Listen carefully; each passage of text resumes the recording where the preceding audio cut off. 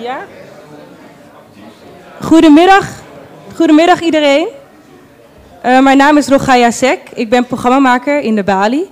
En ik zal vandaag dit gesprek leiden met de burgemeester, uh, die al klaar zit op uh, een soort Sinterklaasstoel vandaag. Maar dat was de enige die nog over was, omdat het zo druk is. Ik ben hartstikke blij dat jullie in zulke grote getalen aanwezig zijn. Um, voor het nationaal gesprek over de vrijheid. Uh, we gaan dit gesprek voeren op 75 plaatsen in 75 mbo-scholen uh, met 75 bewindslieden. Uh, en ik ben heel blij dat ik dat mag doen in Groningen, omdat ik hier ook vandaan kom en hier ben geboren en 19 jaar heb gewoond.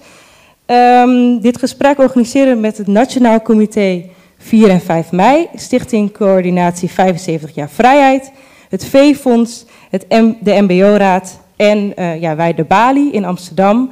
Uh, maar niet alleen Amsterdam, maar nu dus ook in de rest uh, van het land. Um, omdat ja, het 75 jaar geleden is uh, dat de oorlog voorbij was en we nu al 75 jaar leven in vrijheid. Um, en eigenlijk hebben we het heel vaak over vrijheid in onze programma's in de Bali, waar we spreken met kunstenaars, politici, denkers, opiniemakers, wetenschappers. En eigenlijk vrijheid ook altijd wel, of juist het niet hebben van vrijheid best wel een thema is wat steeds weer terugkomt. Um, maar vandaag dus met het Noorderpoort College. Um, uh, ja, en met uh, Koen Schuiling, de burgemeester van Groningen. Dus ik uh, zou eerst Koen Schuiling het woord geven. En dan is er voor jullie heel veel ruimte om met hem in gesprek te gaan. Dus dank u wel.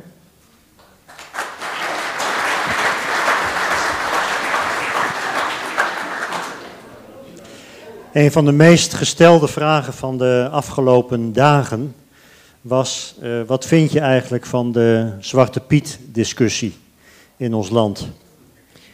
Uh, nou, daar leg ik gelijk een aardig dilemma bloot uh, voor jullie.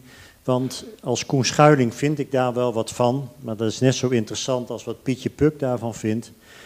als burgemeester vind ik daar eigenlijk niet zoveel van. Dan denk je misschien dat is ook gek, of misschien denk je zelfs wel dat is heel laf.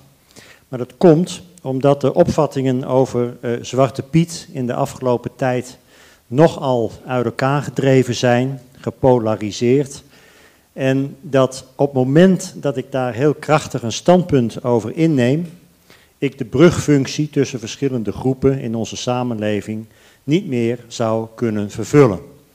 Met andere woorden, de taak van een burgemeester is niet zozeer op dat moment en bij dat onderwerp om daar heel krachtig standpunt over in te nemen, maar de taak van een burgemeester is om ervoor te zorgen dat mensen die daar wel uitgesproken opvattingen over hebben, met elkaar in gesprek zijn om te kijken wat gaan we met dit vraagstuk doen.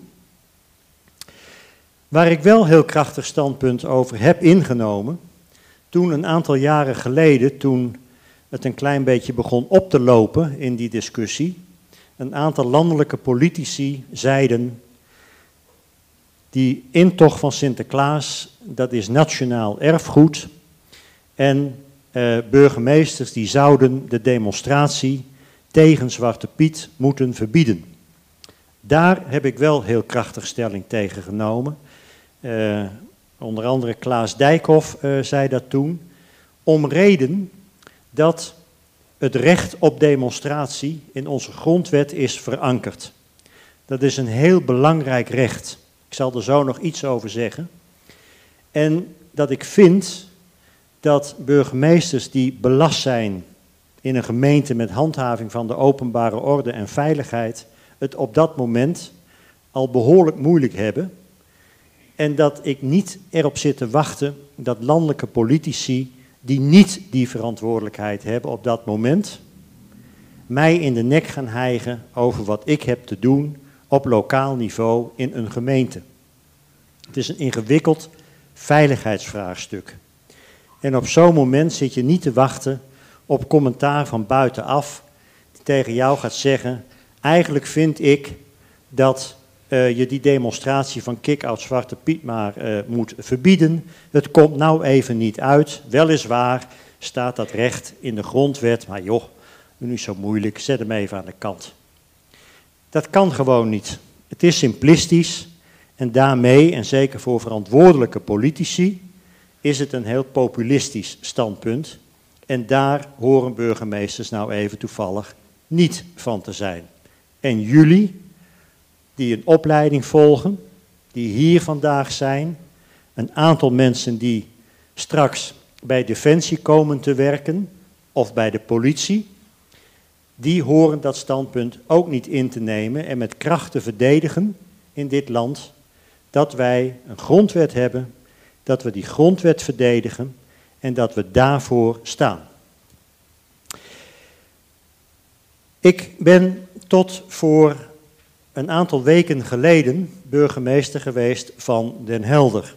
Dat is de plek waar een aantal van jullie binnenkort terechtkomt. Dat komt omdat je bij Defensie wilt werken of gaat werken. Ik heb heel veel naturalisaties gedaan in mijn tijd als burgemeester. Dat hoort bij het ambt. Met andere woorden, mensen die van ver komen, van buiten komen, vaak als vluchteling, die een inburgeringsprogramma volgen en na het afleggen van nogal wat examens Nederlander worden. En mijn stelling was altijd, ik ben jurist, we hebben in dit land stapels vol wetboeken, maar in de kern gaat het maar om één artikel. En als je dat artikel beheerst en begrijpt en goed in je hoofd zet, heb je eigenlijk niks meer nodig. Wanneer de Koninklijke Marine, onze Koninklijke Marine, een schip in gebruik stelt, een oorlogsschip, dan krijgt het een naam.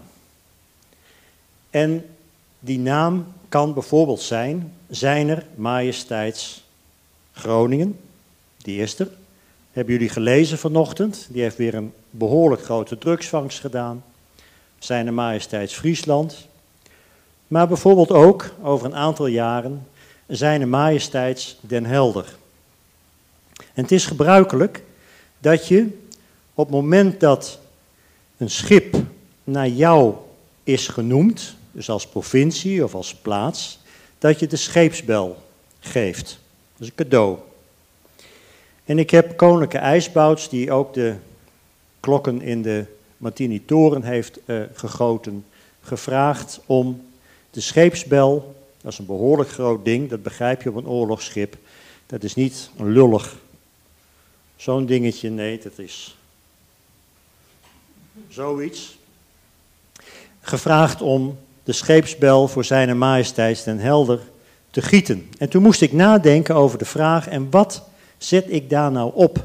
Wat laat ik daar nou opzetten? En ik heb op die scheepsbel, wat gebruikelijk is, het wapen van de gemeente Den Helder laten projecteren. Dus die is daar ingegoten. En uiteraard het wapen van de Koninklijke Marine. En dit artikel. Artikel 1 van de Grondwet. En ik zal hem jullie even voorlezen. Want ik kan me voorstellen dat niet iedereen onder jullie dagelijks de grondwet ter hand neemt. Ik doe het in ieder geval niet. Ik kan me zelfs voorstellen dat niet iedereen deze tekst op zijn nachtkastje heeft liggen. Maar stel je nou eens voor dat wij hier, zoals we hier nu bij elkaar zitten, opeens dit gebouw niet meer uit kunnen. Dat er allemaal traangas binnenkomt. Dat als we de trap willen ontvluchten, dat er allemaal militairen staan. Dat we worden opgepakt. Dat zonder aanzien des persoons worden afgevoerd. En dat onze ouders of onze vrienden maar moeten wachten wanneer we weer terugkomen. En nog meer hoe. Nou zeg je, zo'n vaart zal het hier niet lopen. Nee, maar paar uur vliegen van ons wel in Hongkong. Dus vrijheid, waar het hier over gaat, vrijheid is iets wat je eigenlijk niet zo voelt misschien, als je ervan kunt genieten, als je het hebt. Maar als je het niet hebt, of als je het dreigt te missen, dan opeens, dan merk je wat de betekenis ervan is. Artikel 1 van onze grondwet, waarvan ik zeg, eigenlijk kunnen we daarmee volgens mij verstaan, want dat geeft precies aan hoe wij ons tot elkaar verhouden, luidt allen die zich in Nederland bevinden, worden in gelijke gevallen gelijk behandeld. Discriminatie wegens godsdienst, levensovertuiging, politieke gezindheid, ras, geslacht of op welke grond dan ook is niet toegestaan. Daar staat dus, allen die zich in Nederland, want het is onze grondwet, bevinden, worden in gelijke gevallen gelijk behandeld. Dus bevinden. Er staat niet dat je hier moet zijn geboren. Er staat niet iets anders. Nee, iedereen die zich op ons grondgebied bevindt, die worden in gelijke gevallen gelijk behandeld. En discriminatie wegens godsdienst. Dus dat is wel mooi voor de wat islamofobe mensen. Islamo, islama, islamofobe mensen. Eh, discriminatie wegens godsdienst. Levensovertuiging. Dus of je nou links of rechts bent, of heel erg voor natuur of heel erg tegen natuur of anderszins.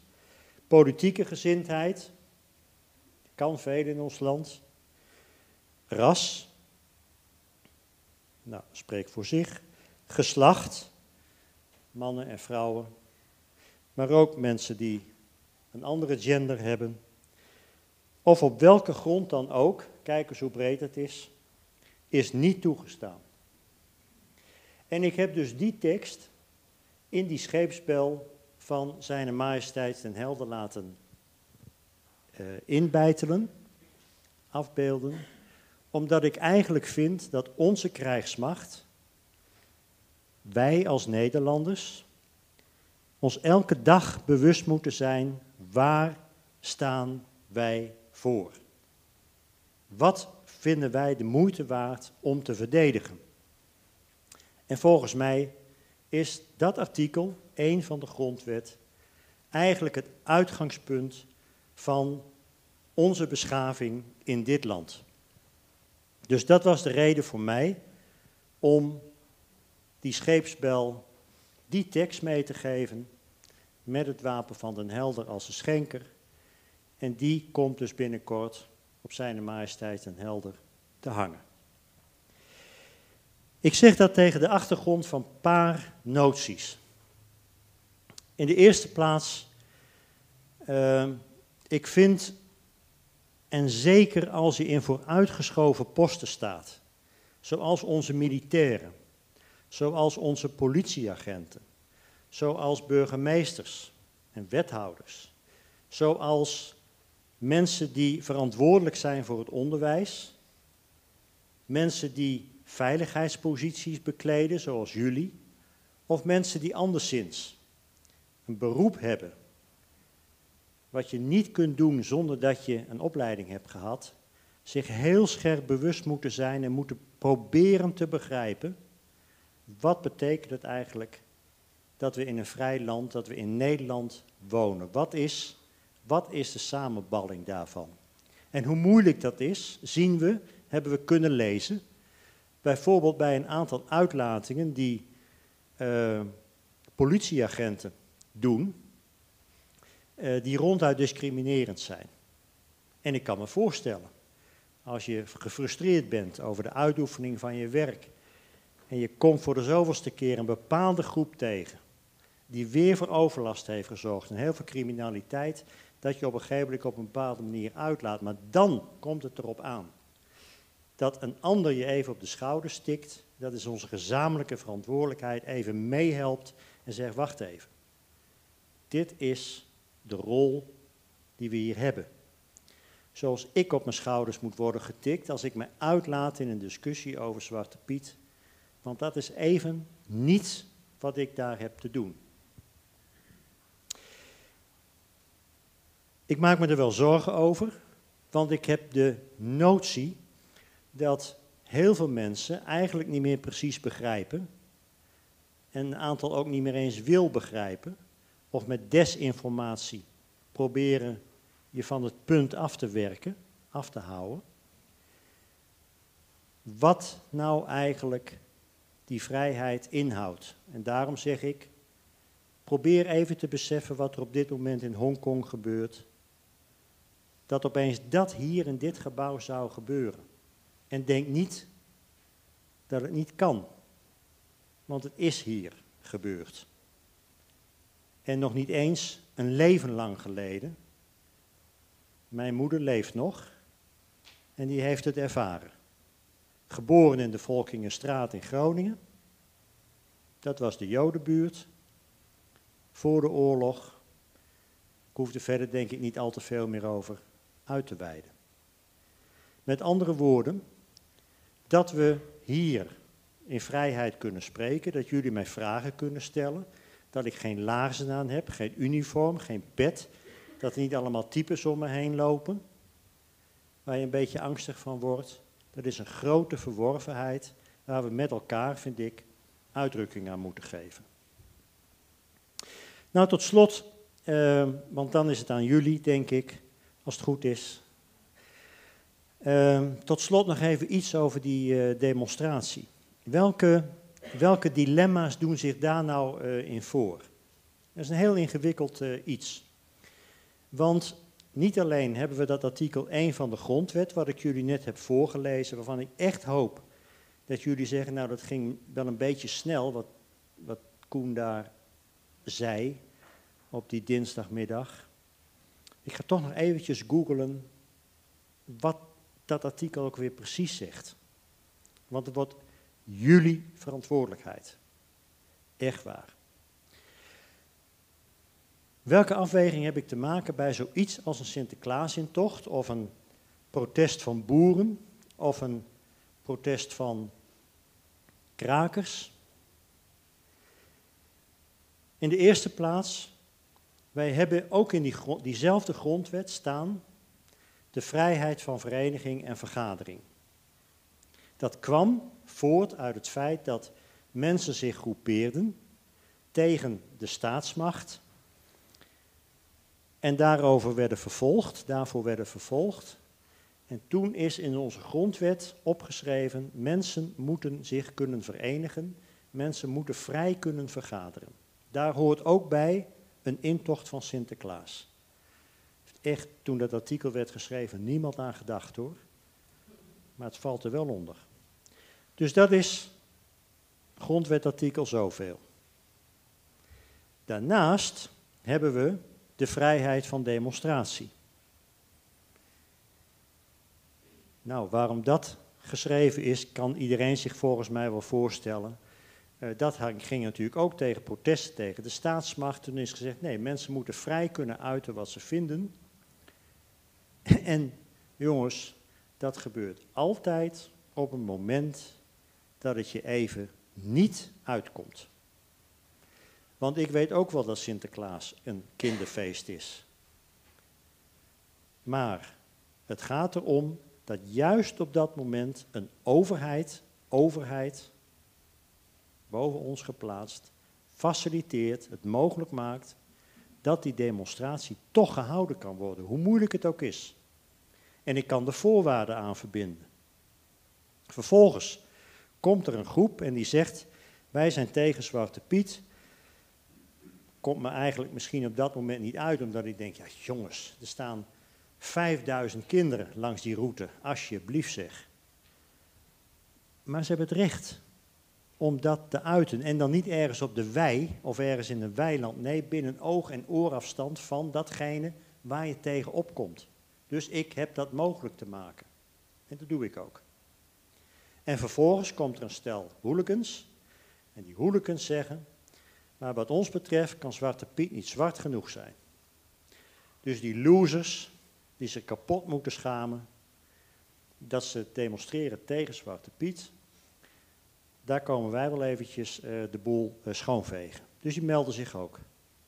Dat komt me nog veel minder uit, want waar ik niet op zit te wachten is een matpartij in het zicht van 5000 kinderen, die uh, dat dan eventjes mogen zien, die komen voor Sinterklaas, hè? niet om dat mee te maken. En toch heb ik de plicht om te kijken of ik het mogelijk kan maken dat ook zij een plek krijgen. Want het is niet belangrijk wat ik ervan vind, het is belangrijk wat jullie ervan vinden. En jullie moeten ongezouten, zo ongezouten mogelijk, kennis kunnen nemen van de diverse standpunten in dat debat, zoals je ook ongezouten kennis moet kunnen nemen en ongezouten moet kunnen zien wat je vindt van die boerenintocht. Nou, dus dat, zijn de bestuurlijke dilemma's waar je dan voor staat. En ik heb de rol en de plicht om dat zo goed mogelijk te faciliteren. En daarmee eh, hoop ik jullie een beetje geschetst te hebben, heel in het kort, eh, hoe je af en toe met, dan zie je dus een aantal van die grondwetsartikelen schuren en aan het hannissen gaan en hoe je als het ware moet proberen om dat toch ergens een plek te geven. Nou, wat ik heb gezegd tot slot. Uh, makkelijke oplossingen bestaan bij dit soort vraagstukken vaak niet. Maar het is juist de plicht om dan tussen al die moeilijke cliffs door te laveren. En dat doen we om uiteindelijk bij vrijheid uit te komen. Dank je zeer. Dank u wel. Ja.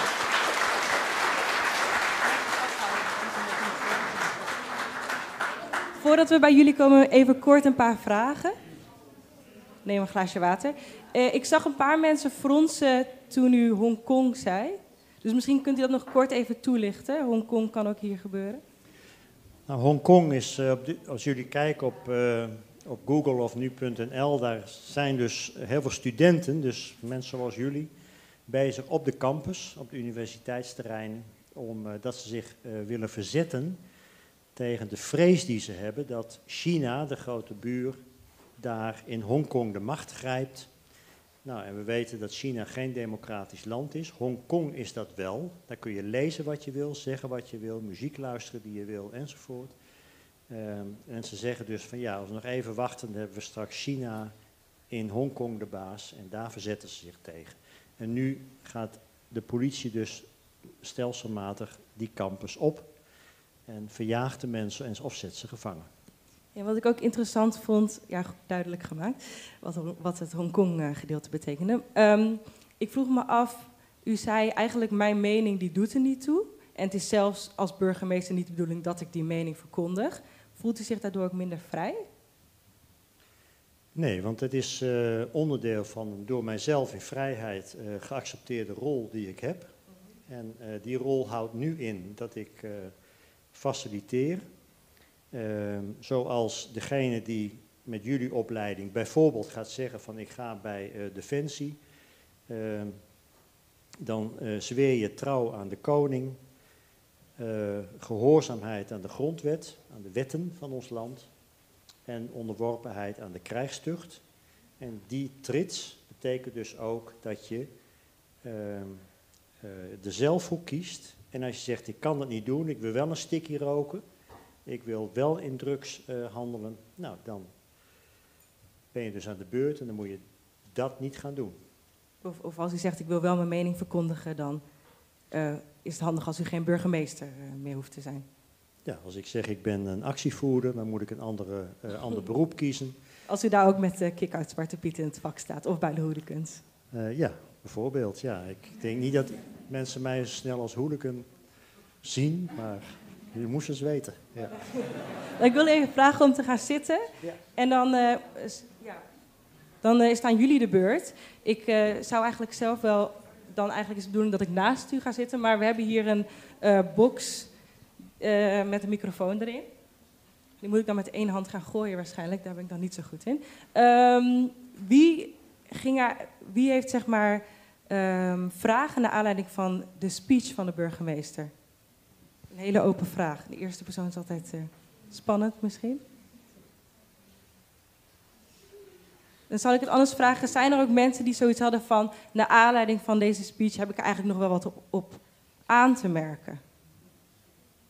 Iets over de thema's die de burgemeester... Ook helemaal niks? wel iemand? Hoor ik iemand daar achterin schreeuwen?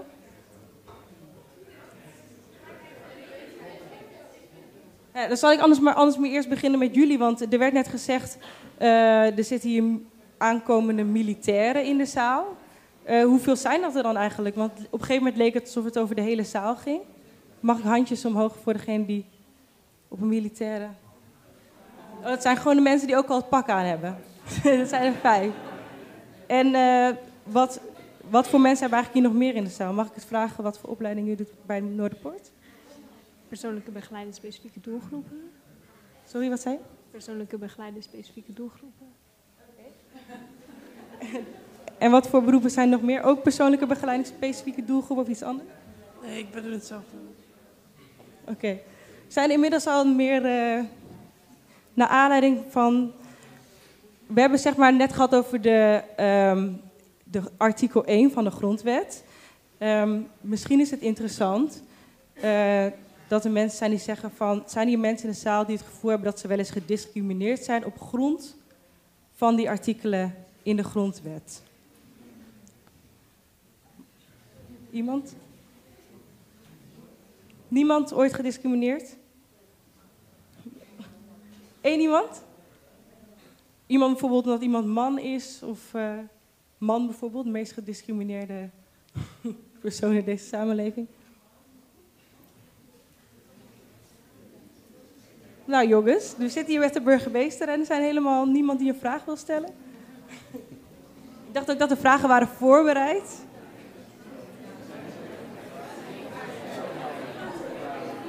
Klopt dat? Nou, dan ga ik. Jongens, willen jullie een beetje stil zijn? Dan ga ik zelf eigenlijk het gesprek beginnen eerst.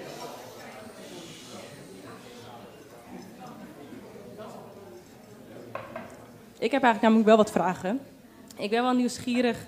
Um, u bent van de Partij voor, niet de Partij voor de Vrijheid, maar de VVD, zeg maar, de uh, Partij voor Vrijheid en Democratie. Um, in hoeverre vindt u eigenlijk dat de VVD nog steeds uh, zich houdt aan die twee kernbegrippen vrijheid en democratie? Ik heb daar uh, wel zorgen over, omdat ik uh, in onze samenleving uh, ja, een soort verharding zie van de onderlinge verhoudingen. Ik begrijp eigenlijk niet helemaal nog goed waarom dat zo is. Dat ik denk, ja, volgens mij hebben we het met elkaar behoorlijk goed. Zeker in vergelijking met heel veel andere landen. en ik merk wel dat, ja, als ik af en toe ook zie hoe sommige politici zich uitlaten, dat dat populistische toontje, uh, aangewakkerd door uh, een paar uh, politici, nogal, ja, dan zegt men van ja, oh god, als we nou niet meegaan in die toon, dan verliezen we het misschien. En mijn stelling is dat je beter gewoon kunt staan voor wat je zegt en wat je vindt, dan dat je je mee laat slepen door. en wat is dan een voorbeeld van zo'n populistische toon?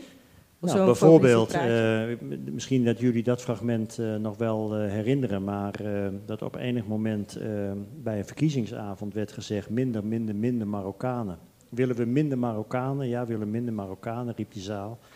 En daar loopt dus nu ook het proces over tegen Wilders.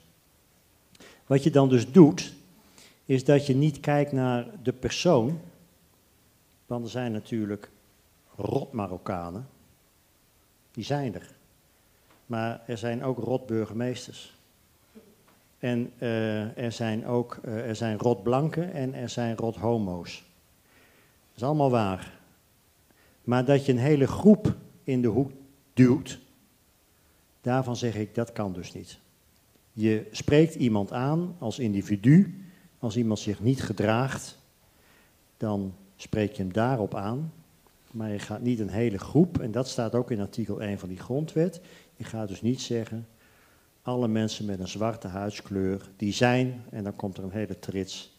Want we weten allemaal dat dat dikke flauwekul is. Denkt u ook dat als er zo op zo'n populistische toon gesproken wordt, dat dat eigenlijk ervoor zorgt dat we minder vrij zijn in dit land? Ja, want er is, uh, uh, vrij zijn is ook een, uh, is ook een gevoel. Hè, wat probeer ik net een beetje te verwoorden. We zitten hier in een veel te warme zaal. En allemaal afwachtend van uh, het eten en zo. Uh, valt nog wel mee, dat is nog een uur. Ja, maar eh, ze hebben allemaal hard gewerkt, dus ze hebben wel zin in wat. En ik zag een paar lui die nogal zwaar in de sportschool eh, waren geweest vanochtend. Maar ehm, het, het is ook dat je gewoon het gevoel hebt, ik kan vrij over straat. Ik hoef niet achterom te kijken, ja, wel voor criminaliteit. Maar ik hoef niet bang te zijn dat ik zonder enige reden word opgepakt. En dat is hier wel gebeurd, hè. In 1942 zijn alle Joden eh, de stad u- uitgehaald, eh, uitgejaagd. Eh, andere mensen die iets eh, deden wat, waarvan de eh nazi's vonden dat het niet kon. Gewoon zonder aanzien des persoons, zonder enige grond van verdenking, zonder bewijs. Werd je gewoon van straat geplukt, van je bed gelicht en je kwam gewoon nooit meer terug. En wat ik soms het beangstigende daarin vind, is dat wij snel, daarom zei ik van, je merkt vrijheid pas als het er niet meer is of als het onder druk komt te staan. Een paar jaar geleden was het in een vakantieland, waar een groot aantal van jullie misschien nu weer heel vrolijk naartoe gaan, Joegoslavië, voormalig Joegoslavië, dus Servië, Kroatië, die landen. Dat is dus een paar uur vliegen van ons. Daar was het ook aan de gang. Dus het zegt toch wel iets over dat vrijheid eh, iets heel kostbaars is, waar je heel alert op moet zijn, dat je het zomaar kwijt kunt eh, raken. En de kleinste tendensen, vind ik daarvan, die moet je, moet je al aanvoelen. Dat je denkt, wacht even, hier klopt iets niet. Eh, ik ben wel benieuwd, want u noemde artikel 1. Is er ook een van die eh, gronden waarop die artikel 1 gebaseerd is, waar u zich eigenlijk het meest mee eh, verbonden voelt? Of waarvoor u het gevoel heeft van, "Ah, dat is bij mij persoonlijk soms, dat ik bang ben dat ik op die gronden daarvan gediscrimineerd kan worden? Ehm, nou, niet, niet in heel directe zin. Wat ik me wel heel erg bewust ben, is dat het artikel geschreven is eh, door eh, blanke mensen. Dus in die zin, eh, ik, hoef, ik heb niet zo echt idee van, nou, ik moet bang zijn dat ik gediscrimineerd word omdat ik blank ben. Dat staat er niet tussen, bedoel- bedoelt u? Nee, er staat wel huidskleur, hè, maar nou, daar hoef ik niet zo vreselijk bang voor te zijn. Iets anders is, wel, ik ben homoseksueel. Ehm, nou, dat, eh, dat staat ook in dat artikel, dat ik op die grond niet gediscrimineerd eh, mag worden. Staat dat er letterlijk in? nee, maar er staat wel seksen en geslacht. En ehm, nou, dat is eigenlijk die, dat, daar slaat het op. Ehm, en, Maar zou u daarvoor pleiten dat het dan wel letterlijk, meer lekker Nee, hoeft niet, want het, eh, het dekt de lading wel, denk ik. Maar ehm, ik denk, als ik gewoon kritisch kijk in deze zaal en iedereen echt zijn vinger op zou durven te steken, die ook homoseksueel is en die wel eens een keer wat van discriminatie heeft ervaren of uit zijn nabije kring dat heeft gemerkt of gehoord, dat dan wel een aantal vingers eh, omhoog gaan. Dat ga ik nou niet vragen, want dat wordt eh, veel te persoonlijk. Maar eh, er zijn natuurlijk hele grote delen van ons land en er zijn heel veel gezinnen waar het eh, op het moment dat een zoon of dochter zegt van nou, ik vind eh, iemand van mijn eigen slag leuker om een relatie mee te hebben dan iemand van de andere sekse, dat dat nog steeds een heel ingewikkeld eh, onderwerp is. En er zijn ook nog steeds heel veel uitingen waarvan je denkt, nou, fijn is het allemaal weer. Wat voor, wat voor uitingen?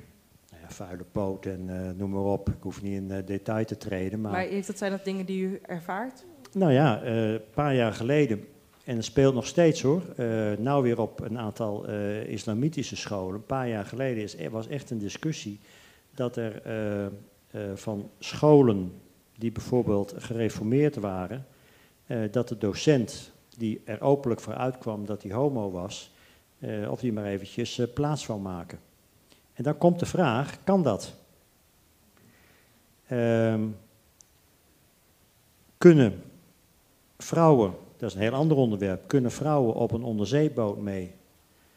Eh, als een soldaat in opleiding zegt, eh, ik ben eh, homo of ik ben transgender of anderszins, kan hij zijn opleiding afmaken? Ik denk dat we dat eventjes, dat ik de zaal in ga en dat ik dat even ga vragen wat ze daarvan denken. En dan daarna mag u zelf het antwoord geven. Dus wie heeft eigenlijk een mening, en anders dan ga ik gewoon iemand aanwijzen. Dan voel ik me echt een juf. Eh, over of dat de vraag die hij net heeft gesteld. Kunnen, kunt u nog een keertje halen? Nou, bijvoorbeeld, je bent homo en kun je in het leger. Kunnen homoseksuele mensen meegaan in het leger? Ja, voor mij wel, voor mij wel, toch? Dat is gewoon ook een mens. is ook gewoon een mens. Mag wat harder? Wat vindt u, mevrouw? Ja, ik vind dat het gewoon moet kunnen, inderdaad. Waar is die mooie witte box eh, die je net had? Die kun je een beetje rond. ja, maar inderdaad, als, eh, als, als enige vrouw bijvoorbeeld op zo'n onderzeeër. Ja, het lijkt me wel ingewikkeld. Maar ja, ik vind wel dat het moet kunnen. Maar eh, ik zou er niet zo voor kiezen, zeg maar. Sorry, eh, kunnen jullie een klein beetje stil zijn daar? Want volgens mij heeft iemand hier wat te zeggen. Ik wil er wel even op reageren. Eh, ik heb 38 jaar bij Defensie gewerkt. En dan zegt hij, zijn er homoseksuelen of lesbiennes of andere transgenders? Ja, die zijn er. Maar het is gewoon een hele stille modus daar. Don't ask, don't talk. Je wordt het niet gewaar. Ten- ten- Tenzij je heel close met iemand bent en dan, wordt het, dan kom je er wel achter. Maar anders is het eh, not done om daarover te hebben. En Is er nog een manier om dat... Als het openbaar wordt, heb je verder ook geen leven. Ik zou een andere baan zoeken. Ben ik heel open in. Denk je dat daar iets aan te doen is? verdraagzaamheid en acceptatie. Want die mensen zijn echt niet slechter of beter dan de anderen die opgeleid worden. Dat meen ik serieus. Dus daar zit helemaal geen verschil in. Je merkt er ook helemaal niks van. Totdat iemand zijn mond open doet en het dat beaamt. Ja, en dan hebben we veel te veel oppositie daarin. Dus daar kunnen we eigenlijk nog niet heel erg goed tegen in dit Calvinistisch land. En, ehm dankjewel. Dan ga ik eventjes naar de man eh, naast u in het mooie pak. Eh, een homoseksueel op missie mee. Zou het volgens jou kunnen? Tuurlijk, het is ook een mens. Ja, niks anders. En als je dan iets hoort, wat er, dat verhaal wat naast u gezegd wordt, dat als het openbaar wordt gemaakt, dat je dan eigenlijk daar geen leven hebt. Kan je dat voorstellen dat het geval is hier ja, in Nederland? Nee, dat vind ik wel heel apart. Want iedereen moet eigenlijk gewoon hetzelfde met elkaar omgaan, vind ik. Ja, maakt mij niet uit hoe iemand in elkaar zit. Gewoon hetzelfde. Ook iemand die daar anders over denkt? En als u zelf die vraag zou beantwoorden, Ja, ik vind, eh daar krijg ik er weer terug op wat ik net even probeerde duidelijk te maken aan de hand van dat voorbeeld van meneer Wilders eh, met minder, minder, minder Marokkanen. Dat ik zei, het gaat toch om de individuele kwaliteiten die iemand heeft. En stel je nou voor dat je, eh, want we kunnen het, ik kan het ook nog dichter bij jullie allemaal maken, want in voetbalclub speelt het ook. Tot op de dag van vandaag. Maar ehm, als ik eh, in een hele gevaarlijke gevechtssituatie zit, of ik zit in de veiligheidssfeer, ik hoef niet eens soldaat te zijn, maar ik zit in de veiligheidssfeer eh, en ik zit in een hele spannende situatie, nou dan wil ik wel ongelooflijk graag dat ik eh, gered, word, gered word of ontzet word door iemand die kundig is en die staat voor zijn vak. En dan maakt het dus geen donder uit welk geloof die heeft, welke seksie die heeft, welke seksuele voorkeur die heeft, welk geslacht die heeft of wat dan ook. Daar gaat het toch om, wat je, wat je als mens, als individueel mens op dat moment presteert. En dat is eigenlijk wat het artikel probeert duidelijk te maken, dat het heel belangrijk is dat ieder mens in vrijheid zich kan ontplooien en dat je al je talenten die je hebt een kans kunt geven en dat niet bij voorbaat, omdat je Jood bent, of omdat je eh, moslim bent, of omdat je man of vrouw bent, of wel of niet een kleurtje hebt, dat dat al de kop wordt ingedrukt. Ja. Dat is, dat, daarom zeg ik het, dat artikel, dat gaat niet alleen over vrijheid, het gaat ook over beschaving. Hoe gaan we met elkaar om? Welk respect hebben we voor Ja. elkaar? ik ben wel in- eh, benieuwd of er in de tussentijd al vragen zijn. Over vrijheid bijvoorbeeld, achterin. Nou, nu ga ik het proberen hoor, als je deze even vasthoudt.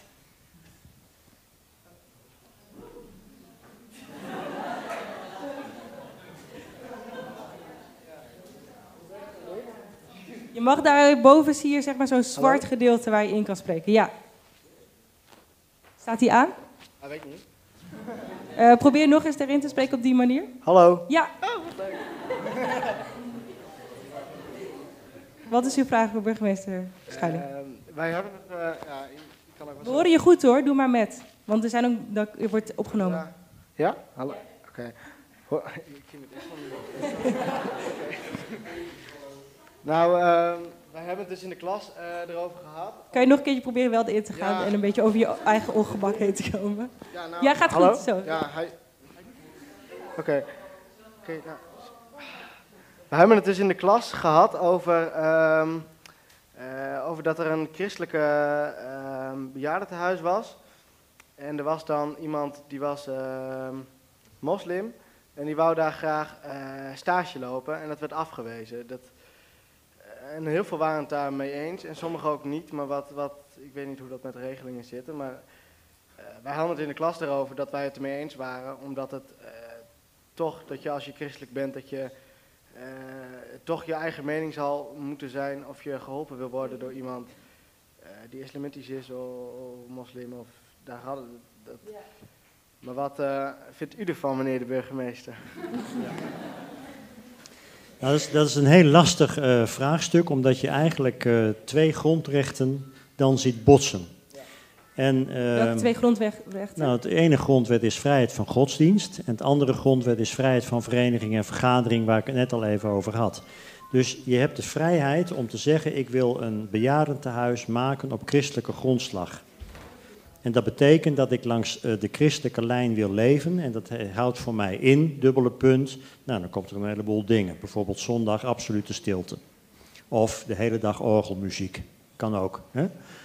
Ehm, en dat staat tegenover op zo'n moment eh, de vrijheid van godsdienst, staat ook in onze grondwet. Nou, iemand die dus eh, zegt, ik wil mij verenigen, hè, ik wil een club vormen met mensen op bijvoorbeeld gereformeerde grondslag, die hebben inderdaad er de, ook, het, ook het recht om te zeggen, iemand met een moslimachtergrond, die past daar waarschijnlijk veel minder in, Ehm, maar het is natuurlijk ook nog even de vraag of zo iemand, zo'n moslim iemand, eh, dat heel erg wil uitdragen. Of gewoon nee, ik voeg mij daar verder wel naar. Maar op zaterdag moet je even geen beroep op me doen. Ehm, nou, en dan hebben we dus eh, gelukkig de onafhankelijke rechter die op zo'n moment de knoop door kan hakken en kan zeggen, ik vind toch dat mensen met een moslimachtergrond ook daar moeten kunnen werken of op een christelijke school moeten kunnen werken. Het is ook een beetje van hoe uit je het? Hoezeer uit je het? Wat zou, wat zou dan volgens u eh, het recht zijn wat hoger telt in dit geval?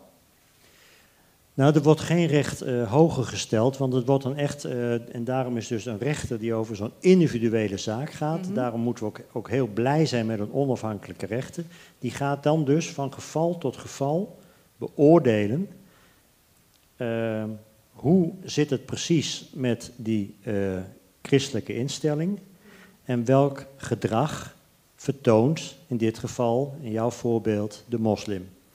En die zal dat dus naast elkaar zetten en dan, nou, net als ik net schetste met zo'n Sinterklaasintocht, per geval, per omstandigheid een afweging maken en zeggen van nou in dit geval doe ik het zo.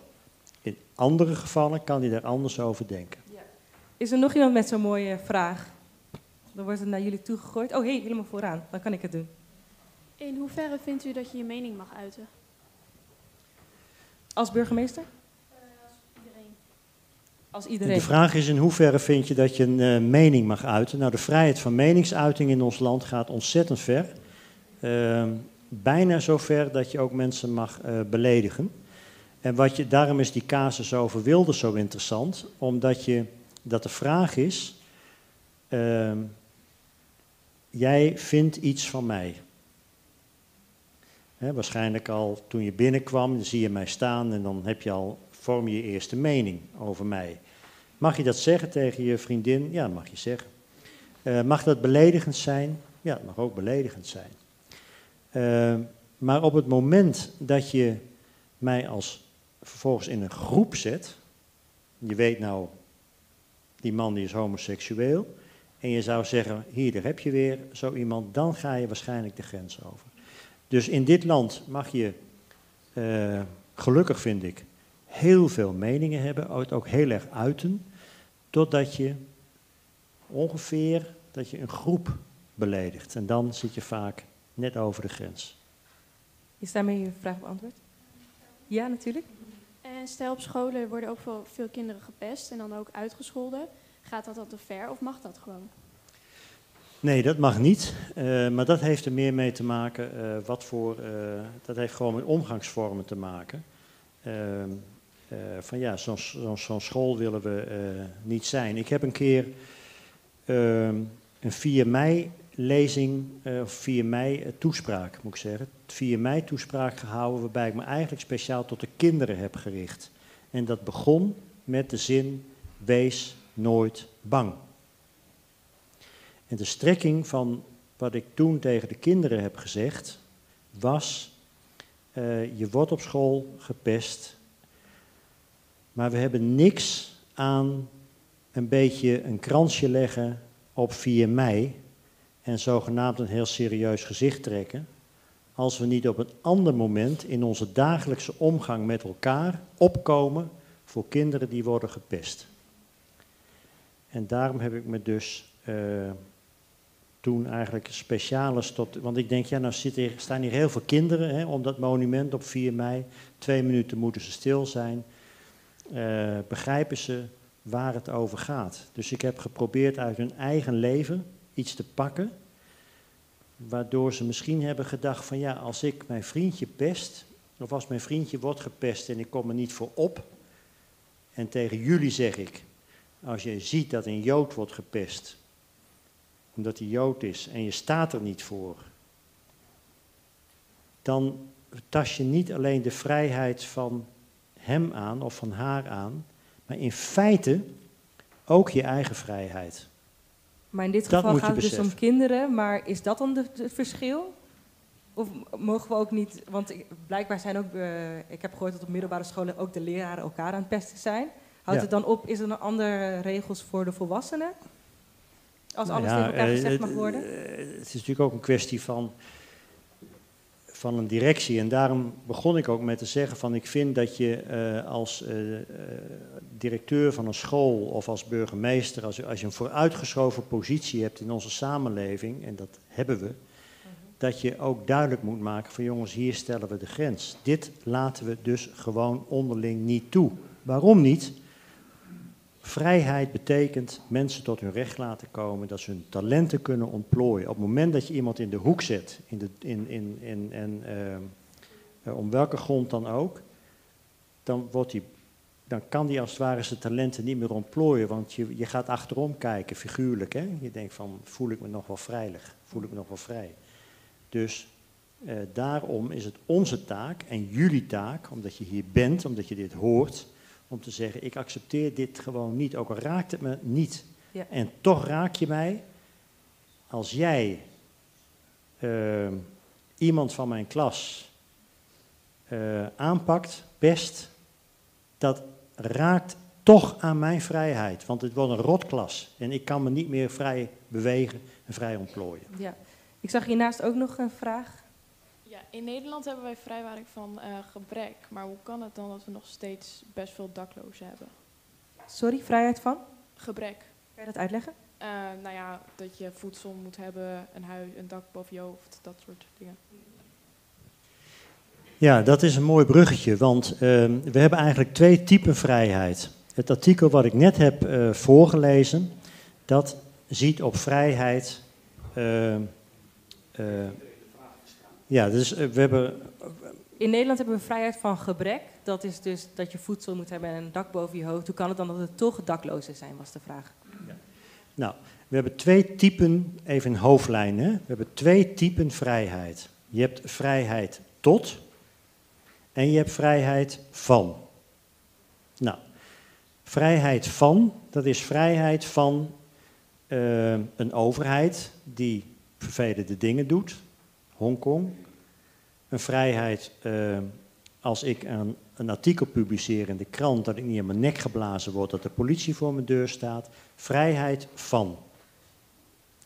Dat is, betekent dus dat de overheid of een andere macht die krachtiger is dan ik, ergens vanaf blijft. Vrijheid van. Dat zijn de klassieke grondrechten. Waar jij op doelt, dat is vrijheid tot. Dat is de, het besef dat het leuk is hoor, eh, vrijheid van drukpers en vrijheid van godsdienst. Maar op het moment dat ik gebrekkig ben, dus mijn eigen inkomen niet eens heb, geen dak boven mijn hoofd enzovoort, vrijheid tot kan zich dan niet ontplooien. Dat onderscheid, dat staat in het tweede deel van onze grondwet. Dus het begint met de klassieke grondrechten, die hebben dat de overheid zich ergens van afhoudt, of dat andere mensen zich ergens van af moeten houden, vrijheid van. En de tweede categorie in onze grondwet, dat zegt, als je niet uh, vrijheid tot iets kunt doen, dan komt er van die eerste type vrijheid geen bal terecht, want je bent wel eerst even bezig om te zorgen dat je aan eten komt, voordat je denkt van kom laat ik ze een vrijheid van meningsuiting uh, geven. Dit, deze spanning zie je momenteel in onze samenleving bij de boeren en bij mensen die bouwen, die zeggen, in dat hele stikstof uh, en al die demonstraties die we momenteel hebben, die zeggen, ik voel me bedreigd. Misschien jullie zeggen dat is onzin, of misschien je zegt ik ben een boerenzoon of boerendochter. Ze hebben hartstikke gelijk. Maar je ziet dus de spanning nu in onze samenleving. Dat zijn mensen die zeggen, als ik niet dit kan doen met mijn boerenbedrijf, of niet meer kan bouwen, dus in mijn vrijheid tot iets te doen, wordt belemmerd, dan voel ik mij ongelooflijk in mijn vrijheid beperkt. En klopt dat dan? Klopt, klopt dat dan of is het alleen een nou, gevoel? Zo, zo voelen ze zich. Uh, daar kun je nog even andere dingen ook over zeggen. Maar, want andere mensen zeggen weer, ja lekker, als jullie zo door blijven gaan met boeren, dan komt mijn vrijheid om uh, in vrijheid op te groeien, of mijn kinderen op te laten groeien met een verpest milieu, daar komt geen, ook geen bal meer van terecht. Dus er is wel wat voor, aan alle kanten wel wat te zeggen. Maar dat is het mooie van, van jouw vraag. Uh, als je dus denkt van waarom loopt het nou zo op, die, die demonstraties momenteel? En waarom worden de, de, de, de deuren van het provinciehuis hier geramd door die boeren? Dan is het deze spanning. Dat mensen zeggen van, uh, door al die regels, die stikstofregels, ik kom niet meer, ik heb geen vrijheid meer tot ontwikkeling. En daardoor komt mijn vrijheid van ontwikkeling niet meer tot zijn recht. En als we dan heel even teruggaan naar het voorbeeld van de daklozen, dat is best wel namelijk een, een, een praktische vraag. Wat is dan eigenlijk een praktisch antwoord op die Uh, nou, dat is, dat is uh, gewoon uh, waar. Mensen die gebrekkig zijn, die worden vaak angstig. Ehm, en die hebben ook niet meer zin om met dit soort vragen, waar jullie nou voor bij elkaar zitten, om zich daarmee bezig te houden. En dat is mijn bezwaar tegen populisme en tegen politici die, zich, die dat gebruiken, omdat ze de angst van mensen vergroten. Dus ze zetten zich er niet voor in om ervoor te zorgen dat dit onze samenleving een beetje beter weer gaat. Of ze zeggen niet van nou laten we het anders langs die weg proberen. Nee, ze exploiteren, ze maken de angst groter. Dat, dat mechanisme moeten jullie heel goed begrijpen. Want dat is precies waar Hitler, waar Poetin, waar Erdogan, waar Trump, waar Farage in Engeland, precies op dat speculeren. Angst bij mensen, omdat ze denken, ik voel me bedreigd. Dan word je angstig. Dat gaan ze aanzetten. Ze gaan de tegenstellingen in de samenleving vergroten. Daarom noemen we het polarisatie. Er zitten polen in zetten de, de tegenstellingen op, omdat ze die tegenstelling steeds maar vergroten.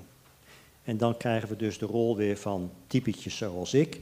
Wij moeten proberen om, als het ware, de verbinding in die samenleving wel te houden, want anders dan valt het uit, uit elkaar, is het geen samenleving meer, maar dan leeft ieder voor zich.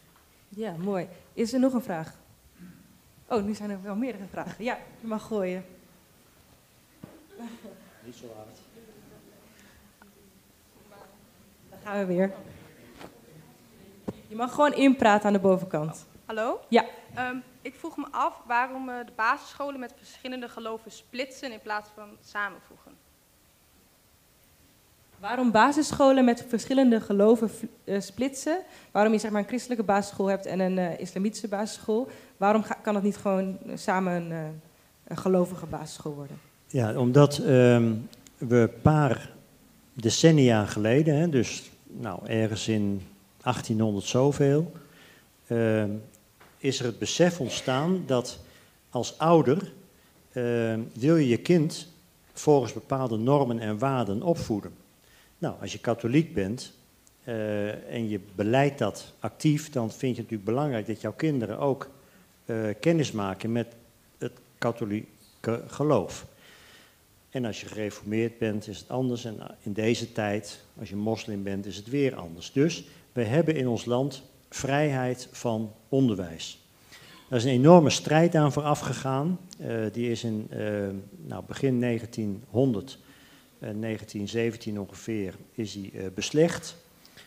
Toen is gezegd, elke ouder heeft het recht om zijn kind te sturen naar een school die hij of zij goed dunkt. Sterker nog, je mag als ouder je eigen school oprichten. Elke ouder mag in Nederland een eigen school oprichten.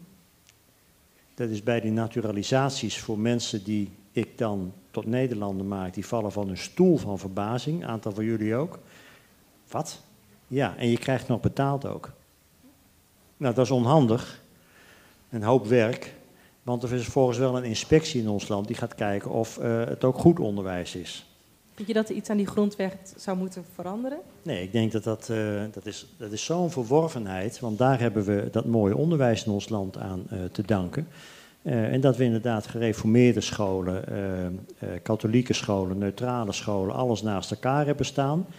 Als het misgaat, dat zien jullie misschien, komt dat een deze dagen weer in het nieuws, als het misgaat, het dan wordt zo'n school gestolen en dan heb je het over het Haga Lyceum in Amsterdam. Daar is de inspectie langsgekomen. Die heeft gezegd, hier worden een paar dingen verteld aan de kinderen. En kinderen zijn nog niet weerbaar genoeg. Eh, dat, dat is gewoon in strijd met de uitgangspunten van onze rechtsstaat. Die school die wordt gesloten door de burgemeester. Is je vraag daarmee beantwoord? Ja. En kan je dan weer doorsturen naar degene die volgens mij... Er was nog iemand daar met een vinger omhoog? Met een vraag? Ja. Eh, ik wil nog even terugkomen op Je mag eerst. net wat meer inpraten, want nu versta ik je niet.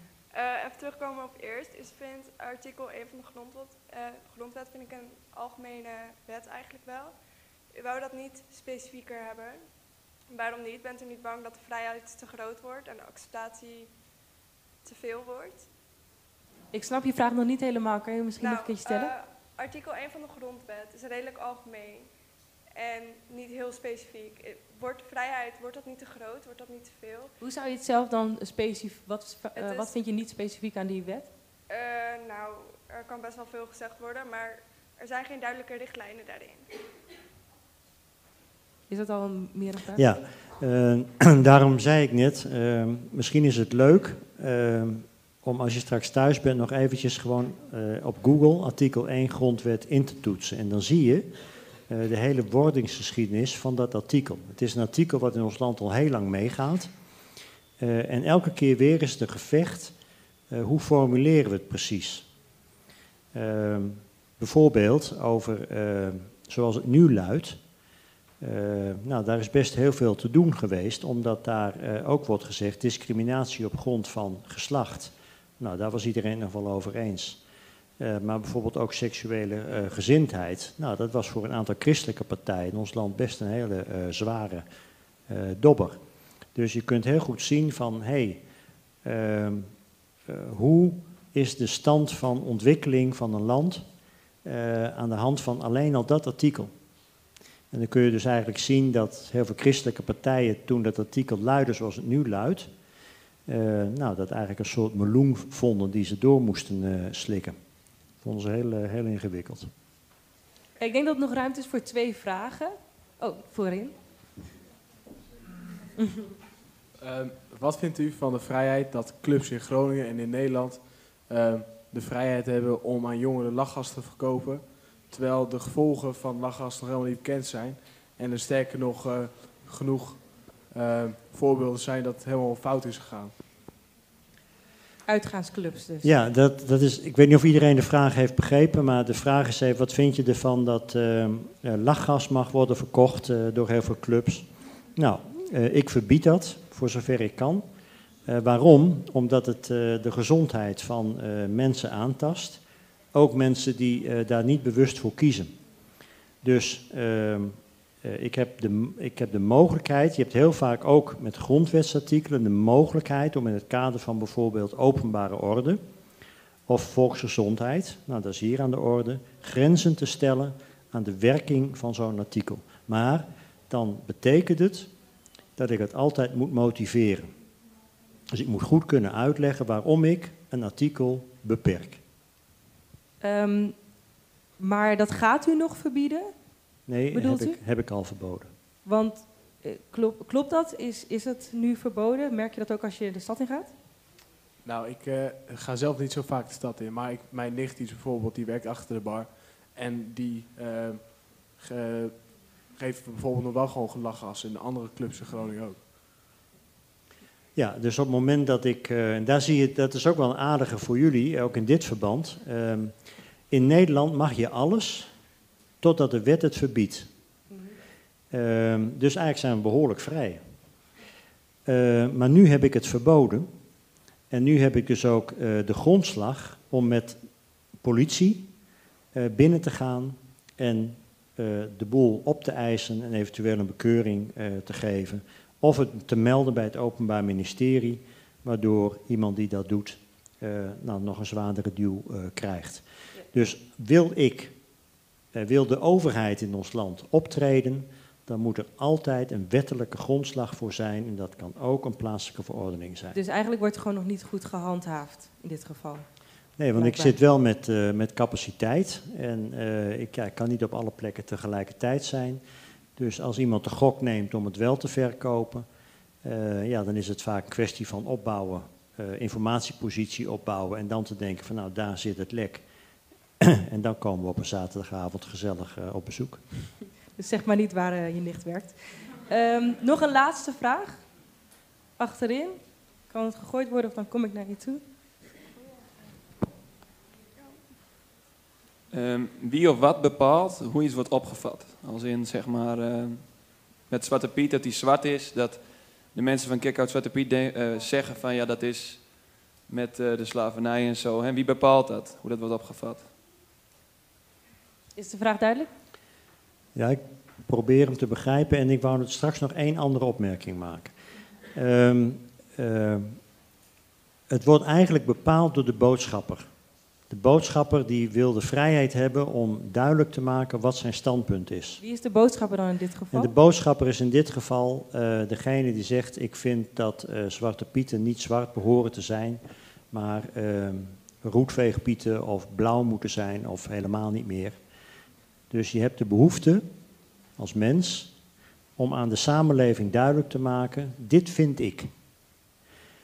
En ehm, eh, ik, de overheid, ik, toets dat niet. Ik heb alleen maar ervoor te zorgen dat jij in de gelegenheid wordt gesteld om jouw mening, en hoe je het ook maar uit, je kunt een lied gaan zingen, je kunt een artikel schrijven in de krant, eh, je kunt een bord eh, voor de stadhuis neerzetten, what- whatever. Ik moet ervoor zorgen dat jij in de gelegenheid wordt gesteld dat te doen. En de grens zit erin dat ik zeg, nu breng je de openbare orde in gevaar. Zoals bijvoorbeeld in Am- Amsterdam hebben gezien, twee weken geleden, daar gingen mensen op de grond liggen, op een drukke weg. En dan zeg je als burgemeester, ja maar eh, je kunt ook gewoon op de stoep gaan staan en dan doe ik niks. Maar als je op de straat gaat liggen, dan is het levensgevaarlijk. Maar voor als het alleen gaat om de boodschap van of Zwarte Piet, waarom die zwart is, dat zijn dus eigenlijk alle individuen samen die dat één voor één zeg maar, bepalen. Ja, maar ook eh, één individu. Eh, dat hebben we ook wel eens meegemaakt. Jullie kennen die voorbeelden ook. Je loopt wel eens een keer door de stad en dan zie je één meneer of mevrouw met een bord voor of eh, heeft op zijn hondje getrapeerd. Eh, en die heeft ook een mening. Ja, dat hondje niet, maar dat hondje wordt als voertuig Dat gebruikt. Jezus, dat Jezus komt volgende week Nou, dat kan nooit kwaad. Ja. Ik wou, ik, we ik wou nog, nog afsluiten. ik wou nog één ding zeggen. Ja, zeker, Ja, want ik heb geprobeerd duidelijk te maken, aan de hand van eh, jouw vraag, wat polarisatie is. En waarom het zo kwalijk is. Dat is kwalijk omdat je dan op de angst van mensen eh, gaat insteken. Er is nog iets anders, wat ook gevaarlijk is. En dat is het gebrek aan besef dat het mooi is om vrijheid te hebben, maar dat het ook verplichtingen schept. En dat aspect, dat zie ik wel eens een keer te weinig. Ik zie in onze samenleving heel veel mensen die zich heel erg bewust zijn van alles waar ze vreselijk veel recht op hebben. Ik heb recht om niet naar school te gaan omdat ik voor het klimaat opkom, maar vergeten dat je ook plichten hebt. En die plichten, die zijn net zo belangrijk. Dat is de, de, de zijde van dezelfde medaille. Je hebt rechten en die verhouden zich in dezelfde mate tot plichten. En wat ik hoop is dat jullie, nu jullie als het ware beginnen na te denken over, hé, hey, wat betekent vrijheid voor mij? Of voor mijn broertje of zusje, mijn ouders. Dat je ook heel erg bewust bent van, maar er zit ook een plichtenkant aan. En dat te onderhouden en daar een vorm te geven, dat maakt je tot een inwoner van ons land, waar we met elkaar, denk ik, een samenleving bouwen waarin het prettig is en in vrijheid te kunnen leven. Dankjewel. Dankjewel voor dat laatste woord. Even een applausje, inderdaad. Ehm, voordat jullie gaan, wil ik heel eventjes, want dat ga ik van een briefje doen, want anders vergeet je weer mensen, het college van bestuur van het Noorderpoort eh, bedanken. Eh, de docenten en de staf van deze locatie. Eh, Chris Holman speciaal voor het coördineren. Het V-fonds. Oh, dank. Wat fijn dat jullie. Nationaal 4 en 5 mei. Eh, Stichting Uitvoering 75 jaar Vrijheid en MBO-raad. En de gemeente Groningen natuurlijk. En eh, het allermeeste Koen Schuiling, burgemeester Koen Schuiling. En dan vergeet ik eigenlijk dat ik jullie ook heel erg wil bedanken. Want het kwam een beetje lastig op gang. Maar toen jullie die vragen gingen stellen, toen waren het echt ontzettend interessante vragen. Dus ook heel erg bedankt daarvoor.